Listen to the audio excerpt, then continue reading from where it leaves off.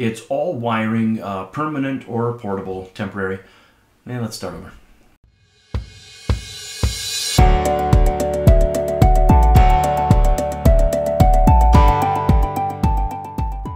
Premises wiring or premises wiring system is a pretty simple definition.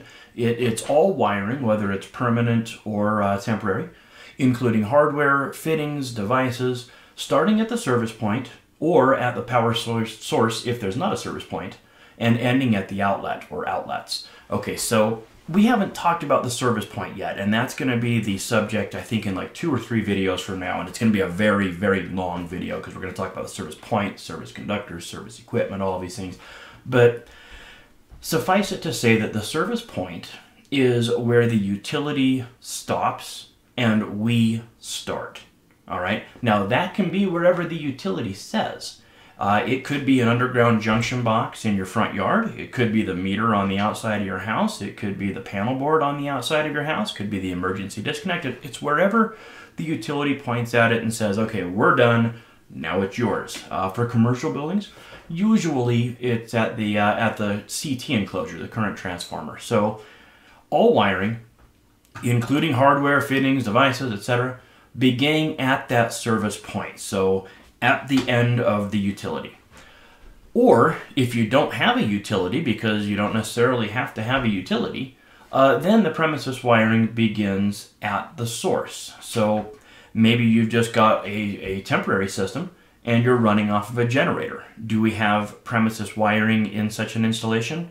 Yes, yeah, we do. There's no service point because there's no utility involved, but there still is a power source. So the premises wiring system is the wiring starting at the service point or the source, including pretty much everything, ending at the outlet. Okay, so looking at this photograph, we've got conductors going into the disconnect, conductors going out of the disconnect and into the unit. That is all premises wiring, all right, because the premises wiring system ends at the outlet.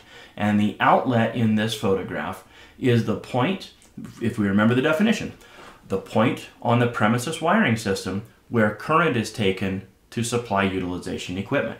It's right where these conductors in the liquid tight raceway, right where they make the connection to the utilization equipment. That's the outlet, that point of connection. The equipment is not an outlet. The equipment is equipment, right? The outlet is where it connects to the equipment, and that's where the premises wiring ends. So with that in mind, what about the internal wiring of the air conditioner? Well, premises wiring does not include the interior wiring of equipment. All of this stuff in here is just part of the equipment because it's, it's downstream of the outlet. Therefore, it cannot be part of the premises wiring system. This wiring inside of here is not part of the branch circuit because the branch circuit ends at the outlet. You might remember me saying how important it is that you understand the definition of outlet. It's one of the most fundamental and most critical definitions in the entire codebook. The outlet is where the premises wiring ends.